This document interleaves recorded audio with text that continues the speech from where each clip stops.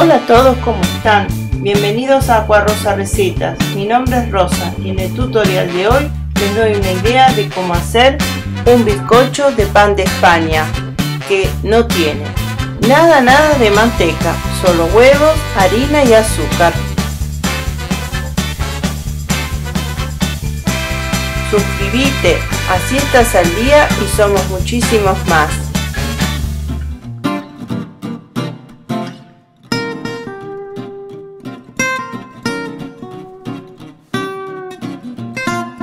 Los ingredientes para este bizcocho de pan de España son 6 huevos,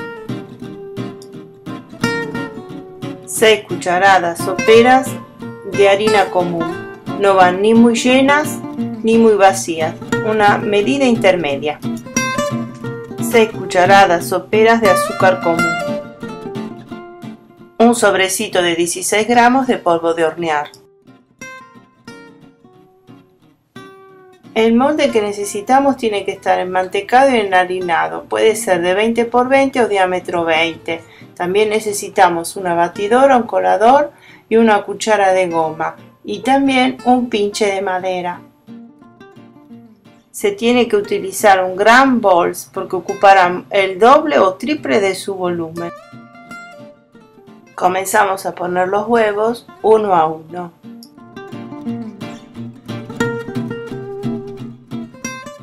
Una vez que ya pusimos todos los 6 huevos, agregamos las 6 cucharadas de azúcar. Se comienza a batir con la batidora.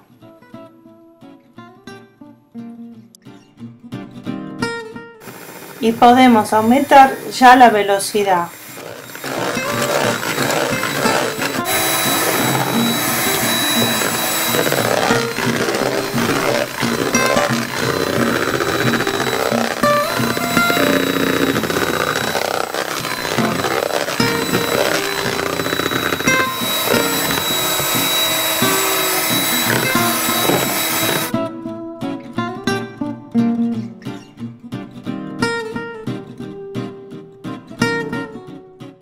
Para esta preparación se necesita mucha paciencia. Es fundamental que se eleve bien y que tenga mucho, mucho aire.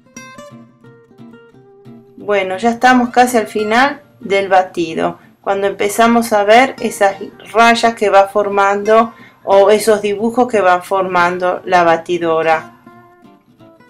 Y ahora sí, ya está listo. Cuando ponemos la batidora arriba de la crema se puede escribir y se llama punto letra.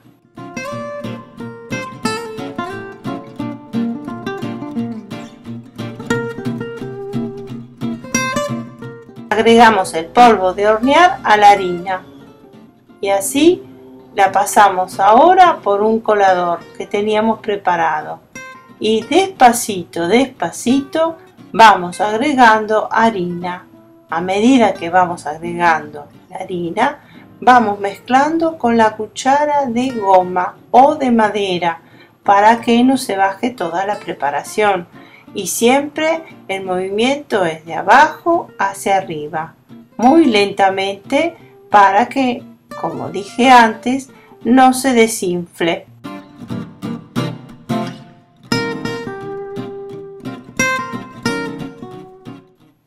Después ya está lista y lo único que nos queda por hacer, poner lentamente toda la preparación en el molde que teníamos ya enmantecado y enharinado.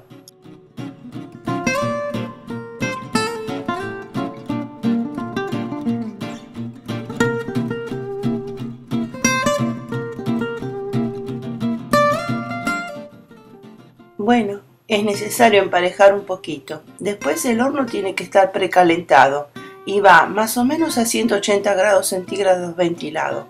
Cuando creen que está despegada de los bordes y pinchamos un poquito con el tenedor y vemos si está cocinada. Cuando está apenas tibia la podemos sacar del recipiente y ya está lista para ser decorada. Vean en otros videos cómo decoro las tortas, especialmente para los cumpleaños. Ah, si te gustó mi video, ponle un me gusta. Gracias y a la próxima receta.